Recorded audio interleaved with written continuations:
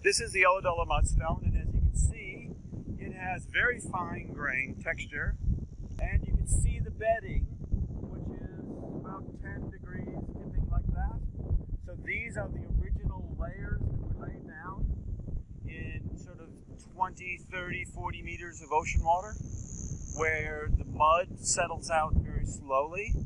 So if we were to go out there in the ocean right now, into this sort of depth of water, we would find only mud settling out. So this has been sorted by energy down from the hills up there, out to sea, and then settling out. And the only thing that can get out there is the mud because the sand's on the beach, the gravel's in the estuary, the boulders are up there in the rivers, and so we've sorted it mechanically by water to lay down mud.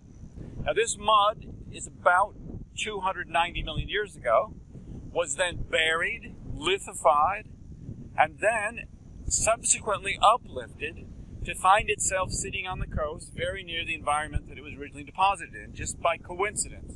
This could be at top of the Himalayas right now. It just happens to be here in Ulladulla.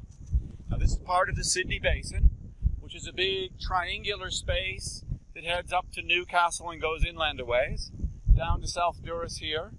And within this, we're seeing a really good view of the Gondwanan glaciation. So this glacial event that occurred on all of the Gondwanan continents, India, Africa, South America, Australia, back when we were one continent. And this was shedding off, the glaciers were coming off the side.